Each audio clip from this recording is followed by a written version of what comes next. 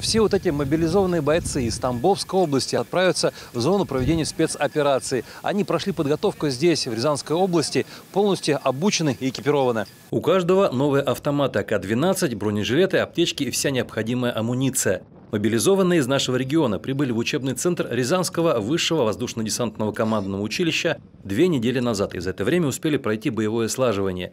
Тренировались они вместе с мобилизованными из Рязанской области. В составе мотострелкового полка отправляются для пополнения подразделений, участвующих в СВО. С приветственным словом к ним обратился глава Тамбовской области Максим Егоров.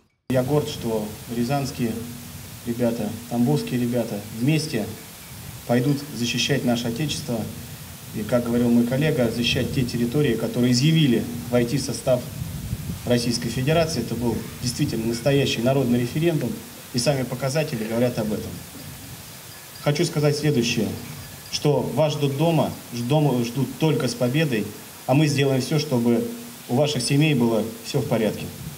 Показывать лица этих ребят, как и говорить о том, сколько их пойдет на фронт, нельзя. Эта информация может попасть к противнику. Настроение у бойцов боевое. Большинство вопросов, которые они задали Максиму Егорову во время личной беседы, касалось положения их семей во время проведения спецоперации.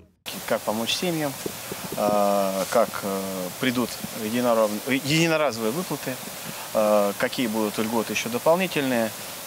И, как всегда, вода, дороги, просто житейские вопросы, которые мне задают все жители нашей Тамбовской области, когда я езжу по району. Также были вопросы, касаемые э, семьи, которые в сложных ситуациях.